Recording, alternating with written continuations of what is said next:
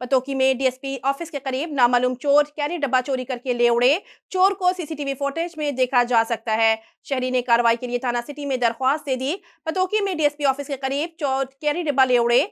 जावेद नामी शख्स ने डीएसपी ऑफ़िस के करीब अपना कैरी डब्बा पार्क किया और सामान की खरीदारी के लिए बाज़ार चला गया। वापस आया तो कैरी डब्बा गायब था। तलाश किया तलाश किया तो पता चला कि चोरी हो गया है।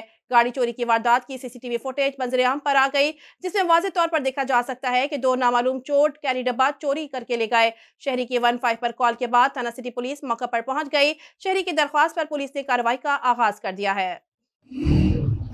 पत्तो आया था तो डीएसपी दफ्तर के सामने गड्डी ठली थी।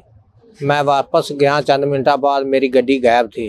मैं वन फाइव ने कॉल की थी पुलिस मौके पर आई है उन्होंने दरखास्त ਦਰਖਾਸਤ ਕਿਹੜੀ ਮੇਰੀ ਲਿਖ ਲਈ ਏ ਤੇ ਡੀਪੀ ਸਾਹਿਬ ਅੱਗੇ ਦਰਖਾਸਤ ਹੈ, ਮੇਰੀ ਗੱਡੀ ਕਿਹੜੀ ਮੇਰੀ ਪੜਤਾਲ ਕੀਤੀ ਹੈ ਗਰੀਬ ਬੰਦਾ, ਮੇਰੀ ਤਾਂ ਰੋਜ਼ਗਾਰੀ ਇਹ ਸੀ ਤੇ ਮੈਂ ਆਪਦੇ ਬੱਚਿਆਂ ਦੀ ਰੋਜ਼ਗਾਰੀ ਕਮਾਵਾਂ ਹੁੰਦੇ ਤੇ ਦਰਖਾਸਤ ਮੇਰੀ ਆਈ ਜੀ ਸਾਹਿਬ ਅੱਗੇ ਵੀ ਮੇਰੀ ਇਹ ਗੱਡੀ ਜਲਦ ਤੋਂ ਜਲਦ ਮੇਰੀ ਕਾਰਵਾਈ ਕੀਤੀ ਜਾਏ।